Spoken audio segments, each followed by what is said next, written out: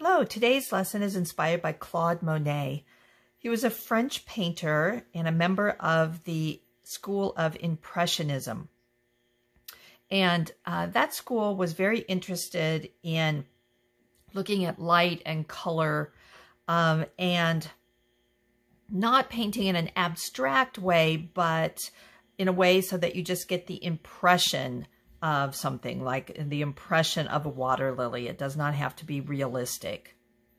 So he had lovely gardens uh, in France, and they're already, they're still open to the public. And so that's where he did a lot of his paintings. Uh, and that is where he would have his ponds and streams and that kind of thing with uh, the water lilies uh, floating on them. So your supply list for today, I'll put this off to the side. The supply list for today is a piece of watercolored paper landscape. We need a bowl of clean water. We need our watercolor set. Large paintbrush. White acrylic paint. And um, a little bowl to put some of that paint in. That will be our last step and then paper toweling. Okay, so we're going to pick up, oh, and did I say our oil pastels? We need our oil pastels.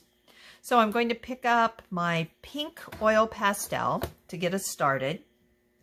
And we need to remember what we've learned about things that are closer to us look bigger and things that are further away from us look smaller and are go up the, the paper. So these are going to, we're not going to draw with pencil. We're, first, we're just going to draw with our, with our oil pastel. And so you're just going to make a U shape. And what I like to do is kind of figure out where I want my water lilies uh, to be. And I'm going to put one that's a little smaller so it looks like it's kind of tucked behind that. And then one right here. And then we've got a lot of negative space here. So I'm going to put it down here. I don't want it to be on the same line. Like that. Okay. And then, and you need to press on your oil pastels so that you are leaving a lot of color and wax behind. So it looks a little bit like a tulip.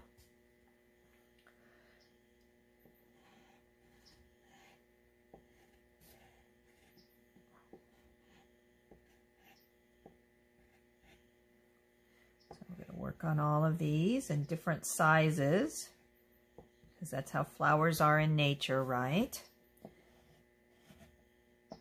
Now we're doing the wax resist method, but I'm also going to show you a different way of doing your watercolor that's called wet on wet.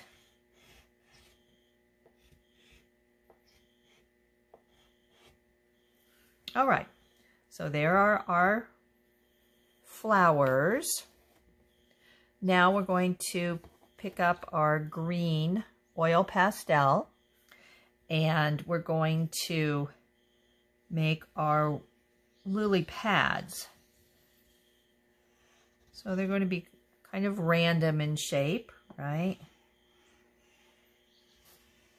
And we want them to be longer rather than wider but we want it to make sure that it's going up here on our flower so it looks like the flower is sitting on it.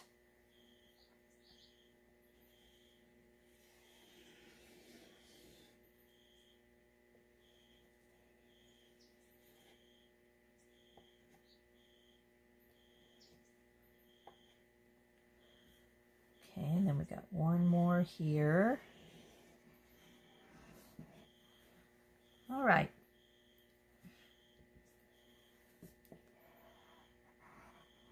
I'm going to go over that one a little bit. I was not quite dark enough.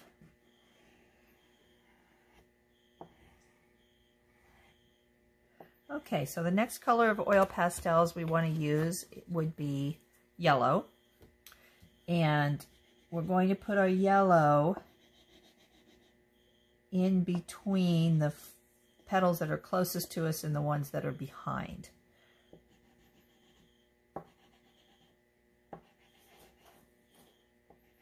Now remember with the wax resist, when you paint over the oil pastel, the paint will not stick, so to speak. And so the color will show through. And it's pretty cool. You can actually see the, wa the watercolor paint sort of rolling off of it. Okay, so we've got our yellow. And now it might seem a little odd, but we're going to use our white oil pastel. And I've been using this quite a bit, so I'm going to get some of the color that has gotten on it because I don't want it to smear and then take some of that paper off. If you can get it. It's being a little stubborn there. Okay. And then we're going to color in the flowers because we want them to stay white. And it's okay if some of your pink blends in with the with the white. Kind of realistic in terms of the way that the flowers look. And you want to make sure you don't get your hand or arm down in the oil pastels that you've already used. And you can move your paper around if you'd like. So we're going to work up our, this way.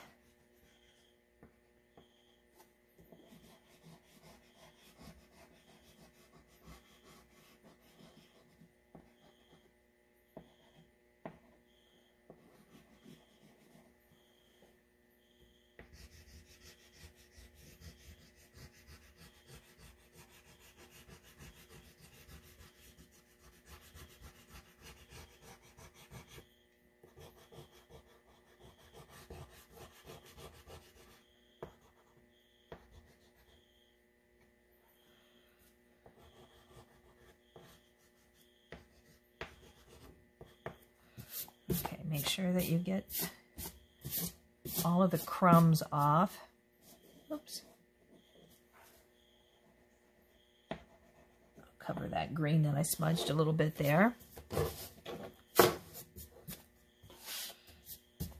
Because that'll mess with you when you're putting your watercolor on. Okay, so we're done with our white.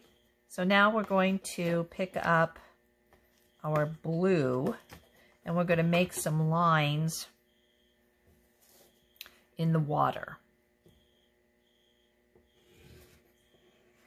And these are just random.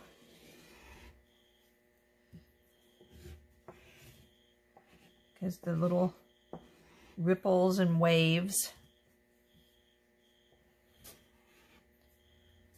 of the water, we're just trying to get the impression of that.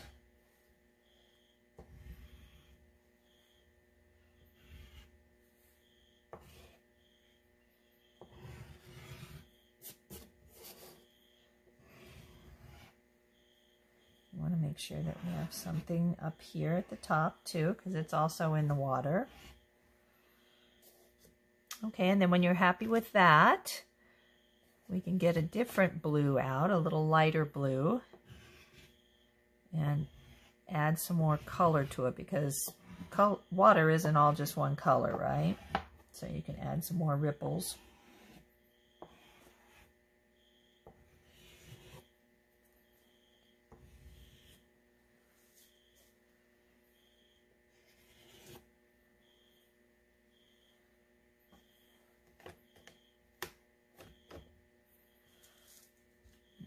go. Okay, now we're ready to paint. So that was easy, right? All right, so with the wet on wet, what you're going to do first is just take your water, paintbrush, put, your, put it in the water, and then you're going to put just, you're going to paint with water basically, and get an area And what the wet on wet lets you do is to just kind of let your paints kind of move around. So I'll show you. And we're just going to do part of it. And it's okay if you get some on the lily pads because we'll, we're going to go back and do those in green. But they probably have water on them anyway, right?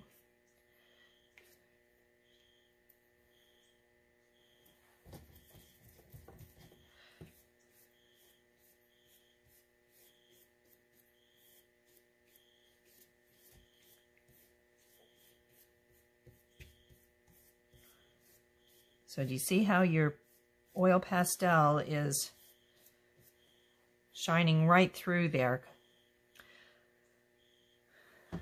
Okay, so I'm going to add some more just water.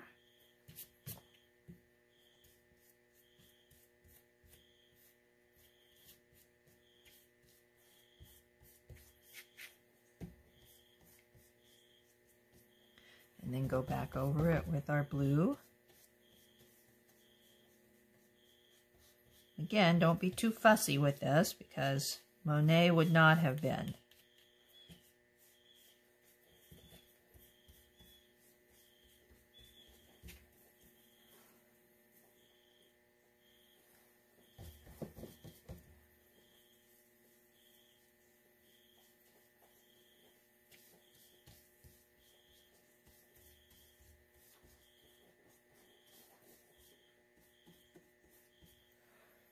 Some more water on our background. And then add some more blue.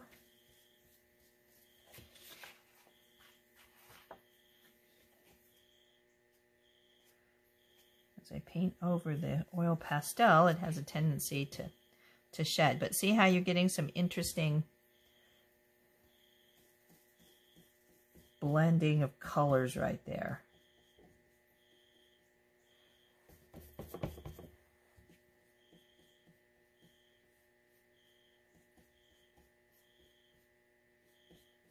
Can let the colors sort of pool, do their own thing.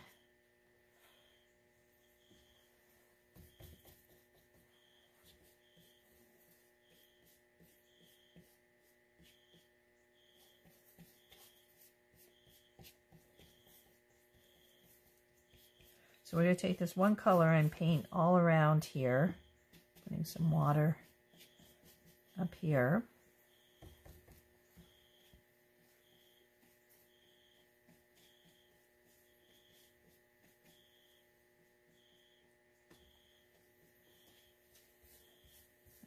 This area.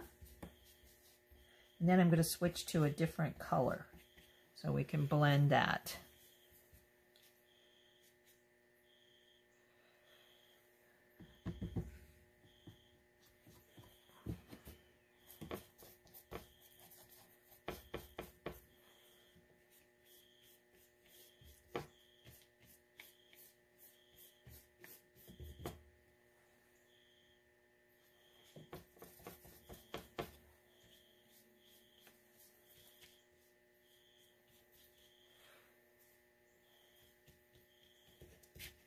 And you can also kind of put a lot of water down and then let, and then move your paper around.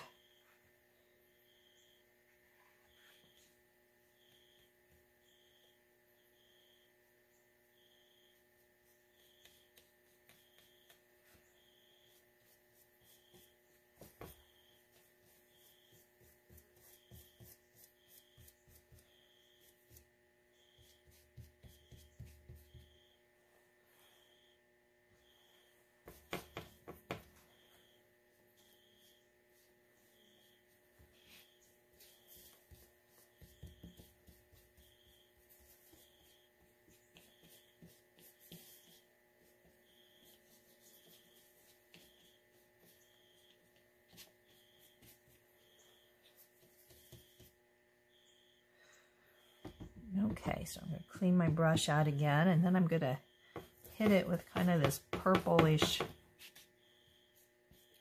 blue. Just in certain areas. I'm going to add a little more water. And I'm going to add a little more pigment. Kind of move it around a little bit. Rid of that air bubble right there.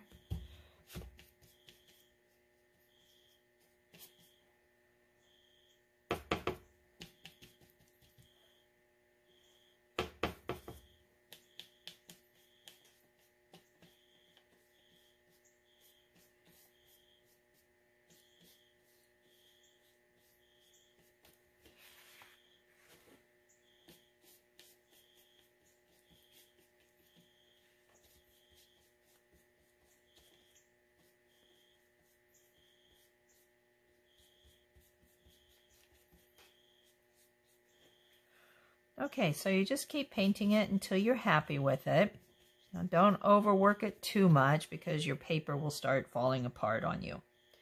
All right, but you get kind of the idea here. Now let's, I dropped my paper toweling, so I need to pick that up. Okay, so now what we're going to do is we are going to clean out our brush and then we're going to pick a light color of green. We're going to work on the lily pads now. And we're going to paint inside our green lines.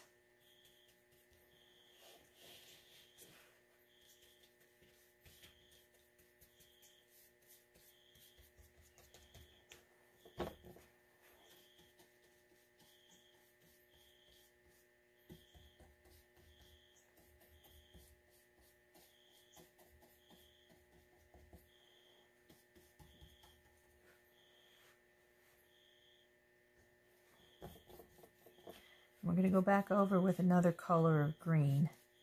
Again, because we want this to be interesting in regards to color. And not flat looking, right?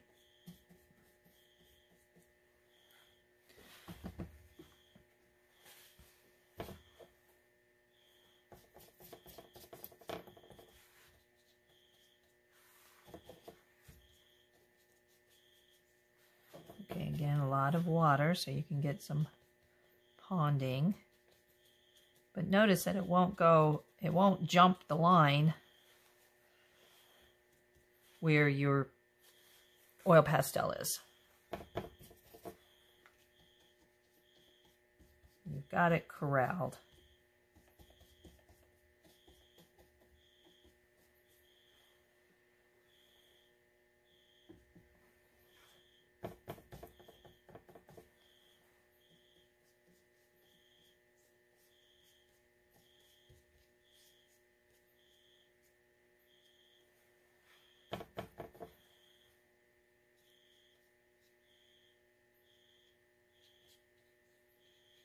I'm having you use a larger brush because that guarantees you can't get too fussy, right, on these smaller spaces.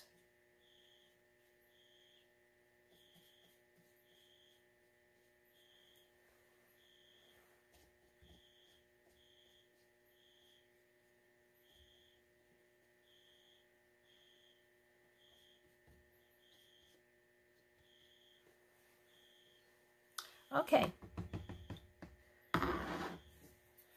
Good, this looks nice. Okay, so now what we're going to do is we're going to, when you're happy with your painting, then it's time to get out your white acrylic paint. And you're going to put just a little, we don't need a whole lot, into a small container. It can be a paper cup or plastic cup, this is a recycled fruit bowl. Okay, so you want to have clean your clean brush and clean water. And you're just going to add some water to this so it's runnier. And we're going to add highlights. Here, let me get this out of the way. To our water by loading our paint brush up with paint, with the watered down white paint, and then we're going to simply hit it on our paper. This is called splattering. You can put it on the leaves as well as the flowers and just move it. You don't have, you can sort of control where it's going, but you can't, you don't have a lot of control on this, okay? So you just do that until you're happy with how much you've got on there, and then we're finished. I hope you enjoyed painting as Monet did. Thank you.